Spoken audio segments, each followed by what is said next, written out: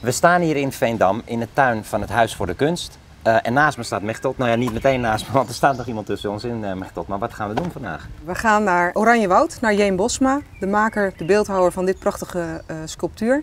In de beeldentuin van ons Huis voor de Kunst. Dus ik zou zeggen, we gaan.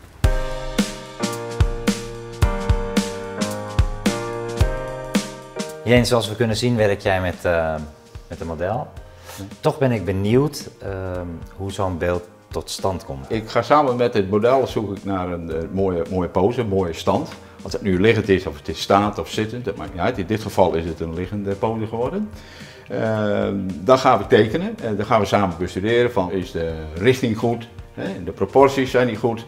En als dat allemaal goed is, dan gaan we een constructie maken, een soort uh, skelet eigenlijk, hè, wat wij ook in ons hebben een skelet en daar omheen gaan we was aanbrengen. Dus het model ligt er dan ook altijd bij. Dus constant het model erbij als ik met dit beeld bezig ben. Maar is het model alleen enkels inspirerend voor jou of ga jij verder? Nee, nee, het is niet alleen het model die inspirerend voor mij is. Als ik ga wandelen naar, uh, in het bos of op het strand of ik wandel door de stad. Ik kijk naar mensen, ik kijk heel veel naar mensen. Wat verhoudingen hebben ze dan? Hoe lopen ze? Zit er een draaiing in de rug of niet? Ik zie naar de golven in de zee. Ik zie naar de vorm van de, en de lijnen van de bomen.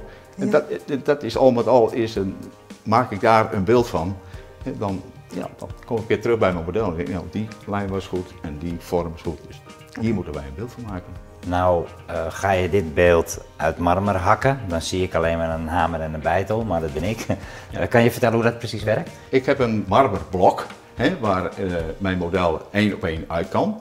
Dus dan ga ik in grote lijnen ga ik met een flex, hè, de grote lijn, slijp ik daar uh, lijnen in en die hak ik eruit. Dus ik bedoel dus echt die hoek, hè, dit, dit is, hier zit niks, dus dat kan ik zo weghalen. Dit is een vlak, dit is een vlak, dus kan ik, met grote lijnen kan ik dat wel weghakken.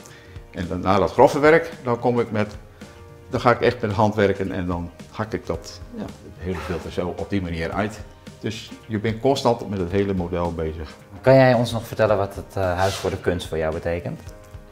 Ja, het Huis voor de Kunst. Ik ben daar, toevallig ben ik daar in aanraking gekomen met een, uh, via een kennis van ons. En ik zag wat Mechtelt en uh, Jan Starke daar opgezet hebben. En dat vond ik zo mooi. En, en ja, dus het zijn de mensen die houden van kunst. En hij vond een aantal beelden van mij geweldig. Hij zegt, mogen die bij ons in de tuin staan? Ik zei, nou, ik vind het initiatief wat jullie hebben vind ik zo geweldig en ik, uh, we zetten daar die beelden Ik laat ze gieten in rond en ik zet ze daar neer.